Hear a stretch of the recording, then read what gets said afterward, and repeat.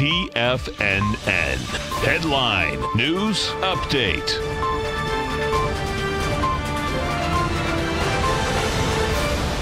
Good afternoon, everybody. I'm Tommy O'Brien, coming to you live from TFNN headquarters in Clearwater, Florida. 2 p.m. Eastern Time. Two hours left to go in the trading day, and markets pretty much at session highs. We get the S&P up 10 points, trading 28.31. Dow Jones negative by just 19 points now, trading at 25,222, and the Nasdaq positive by 48, trading at 78.89.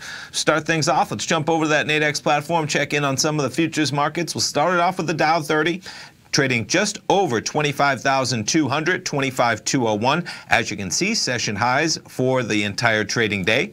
NASDAQ 100, quite an acceleration throughout the day. Down here, like 8 a.m., we'll call it, we're trading at 74.08. We're almost solid 65 NASDAQ 100 points above that level, trading 74.73. S&P's also climbing higher early in the session. Pre-market trading 28.15. We're now trading 15 points above that level, 28.30 in the S&P's. Gold contract volatility in both directions, trading lower for most of the morning from 1233 down to 1228. We're now almost right back up to that 1233 price range, 1232.55. Bitcoin continuing to struggle a bit. Quite a good couple weeks for Bitcoin, trading from 6,200 all the way up to 8,400 and change overnight. From there, off a couple hundred dollars, trading 81.20. And talk about volatility. Crude oil, EIA numbers at 10:30. We get a draw of 6 million barrels. Estimate was a draw of 3 million barrels. You see oil spike higher trade lower, and then back higher we go, reaching highs of about 69, 68 right about noon, or about 38 pennies off that level, trading 69.30 in the price of crude.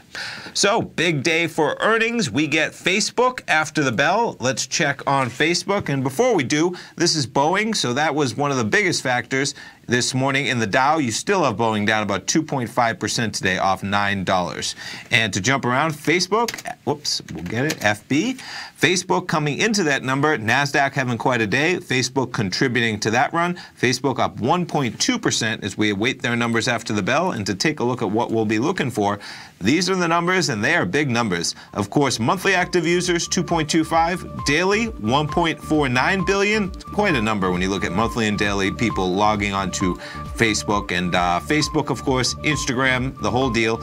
Revenue, 13.36 billion and earnings of a buck 72. So we'll see right after that closing bell. Stay tuned. Steve Rhodes, excuse me, David White coming up right now with the Power Trading Hour. Have a great Wednesday, everybody.